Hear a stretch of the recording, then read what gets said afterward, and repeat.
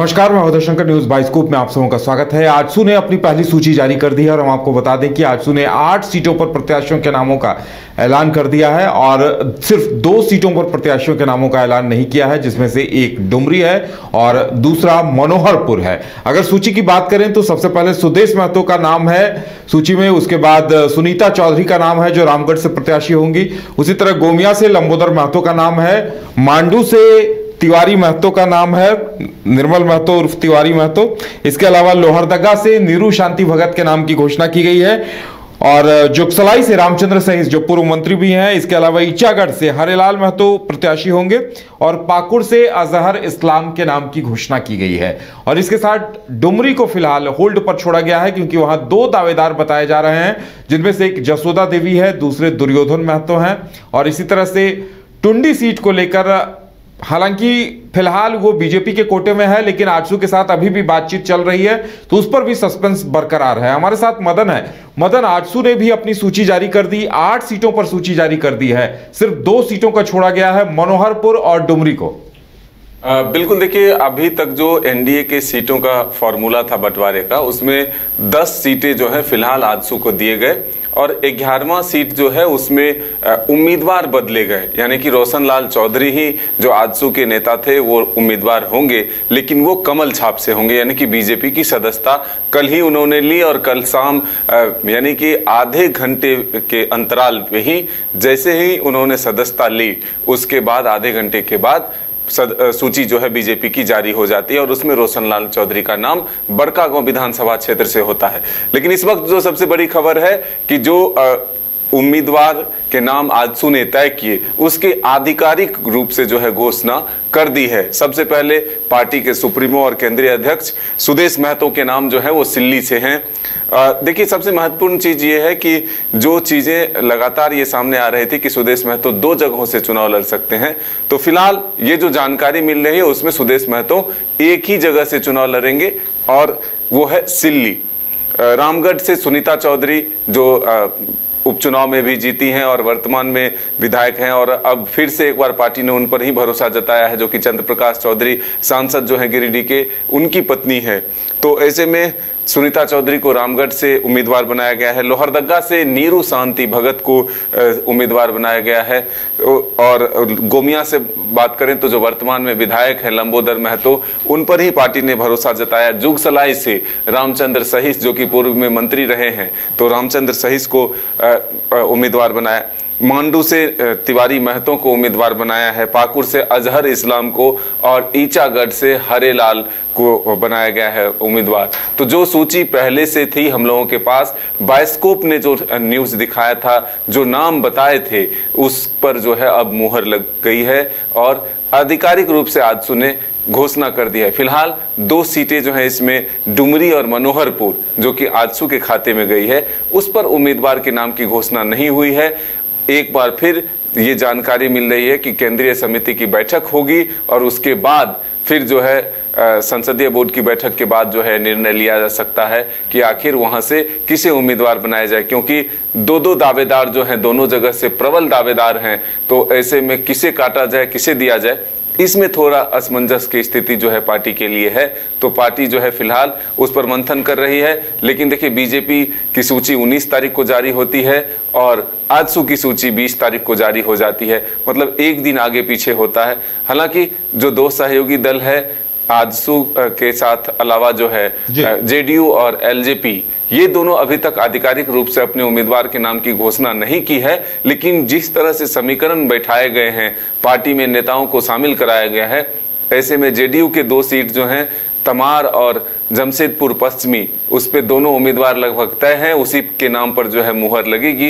अगर आप तमार की बात करें तो तमार से राजा पीटर को उम्मीदवार बनाने की संभावना है और वहीं जमशेदपुर पश्चिमी की बात करें तो अब ये तय हो गया है जिस तरह से बीजेपी ने पूर्वी से रघुवर दास की बहू को उम्मीदवार बनाया है। तो ऐसे में अब सरयू राय पश्चिमी से चुनाव लड़ेंगे जिसका जिसको लेकर के पहले से ही संभावना जता दी गई है।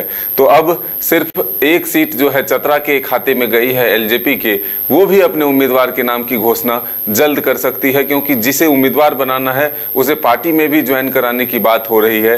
तो अब देखना होगा कि कब तक ये मामला जो है सामने आता है। फ़िलहाल ये हम कह सकते हैं कि आ, बीजेपी और एनडीए के फोल्डर में तो सब कुछ ठीक चल रहा है, अभी के हिसाब से, क्योंकि जिस तरह से बीजेपी ने एक बार में ही छियासठ उम्मीदवारों के नाम की घोषणा की, फ़िलहाल अगर आप देखें तो दो सीट पर जो है उम्मीदवार तय नहीं हुए थे या फिर किसके खाते में है, ये अभी फ़िलहाल तय नहीं है, जो कि अगर आप कहें तो बरहेट और टुंडी, ये दो सीट है जिस पर बीजेपी के खाते में जाने के बाद भी उम्मीदवार के नाम की घोषणा नहीं हुई है।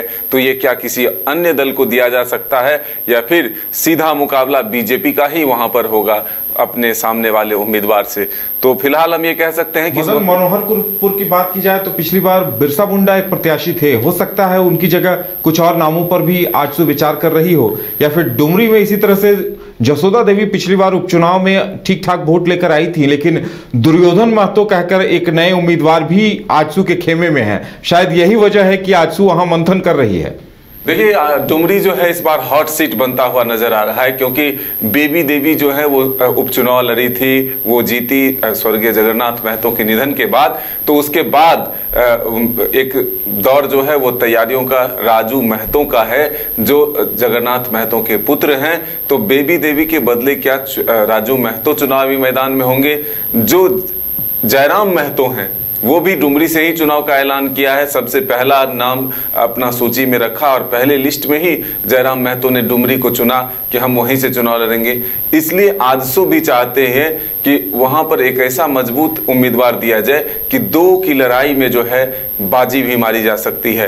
तो ऐसे में बीजेपी और आजसू के वोट अगर एकजुट होकर एक जगह मिलता है तो फिर इसका फ़ायदा जो है कहीं ना कहीं एनडीए गठबंधन को मिल सकता है। तो अब आने वाला वक्त बताएगा कि जयराम का जादू चलेगा या फिर राजू महतो का या फिर आजसू के उम्मीदवार बाजी मारते हैं। ये तो आने वाला वक्त बताएगा, लेकिन इस बार के चुनाव में एक सीट और हॉट सीट बनकर सामने आया है, उसमें डुमरी है। बिल्कुल तो डुमरी हॉट सीट बन गई है और देखिए, टुंडी को जो बीजेपी ने होल्ड किया है, इसकी वजह से कई सवाल उस पर भी मदन उठ रहे हैं कि टुंडी क्या आजसू को दी जाएगी, क्योंकि आजसू, ये सीट पहले 2014 में आजसू के फोल्डर में थी। राजकिशोर महतो वहाँ से विजयी हुए थे, आजसू के प्रत्याशी थे। तो आजसू को मदन कहीं ना कहीं ये उम्मीद होगी कि टुंडी सीट एक बार फिर उन्हें दी जाए। देखिए, दावेदारी ज़रूर है और ये दोनों सीट जो है ना, डुमरी और टुंडी ये दोनों सीटों पर अगर कास्ट वाइज वोटर की बात की जाए तो ये जो महतो कास्ट हैं या फिर जो उस कास्ट के वोटरों की संख्या जो है काफ़ी है। ऐसे में उम्मीदवार का चयन भी उसी तरह से किया जाएगा। देखिए अगर आप यहाँ की बात करें, डुमरी की बात करें तो जयराम महतो हो या फिर राजू महतो हो या फिर यशोदा देवी हो ये तमाम लोग उसी बिरादरी से आते हैं। तो ऐसे में उम्मीदवार का चयन भी आ, अगर आप टुंडी की बात करें तो अभी भी जो मथुरा महतो हैं वो भी उसी बिरादरी से आते हैं। तो ऐसे में जातिगत समीकरण भी इसमें देखा जाता है उम्मीदवारों के चयन में। तो बीजेपी अब किसे उम्मीदवार बनाती है अगर बीजेपी के खाते में जाती है? वैसे ये ज़रूर है कि एनडीए फोल्डर में महतो वर्ग के वोटर को साधने के लिए आजसू का साथ और जेडीयू का साथ लिया गया है।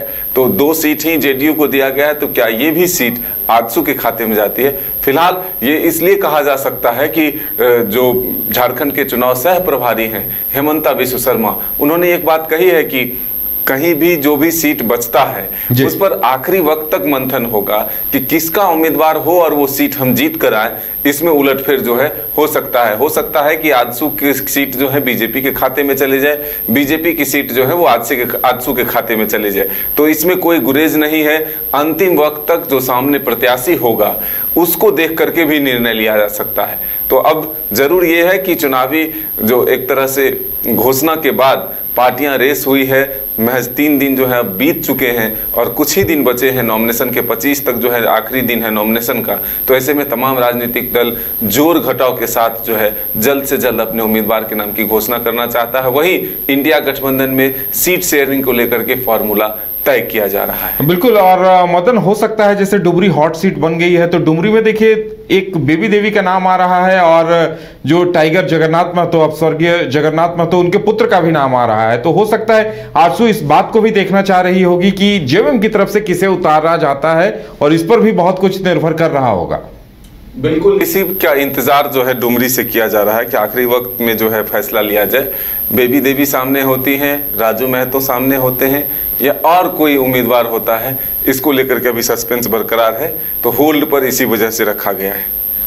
तो देखिए अब होल्ड पर रख दिया गया है और कई लोगों की नज़रें इस पर टिकी हुई हैं कि इस पर निर्णय क्या कुछ होता है क्या कुछ आता है। हालाँकि आजसू ने आठ प्रत्याशियों के नामों की सूची जारी कर दी है और उसमें से ज़्यादातर फ़र्स्ट फ़ेज़ के हैं। डुमरी दूसरे चरण में डुमरी का चुनाव होना है और इसके साथ साथ अगर देखा जाए तो डुमरी के अलावा ये जो मनोहरपुर सीट है, उस पर आजसू को आज नहीं तो कल। हो सकता है मदन, चूँकि अब दिन बहुत कम बचे हैं फ़र्स्ट फ़ेज़ के चुनाव के लिए। 25 तारीख नामांकन की अंतिम तिथि है। ऐसे में आज से कल में आजसू को फिर मनोहरपुर को लेकर तो ऐलान करना ही पड़ेगा कि कौन प्रत्याशी होगा।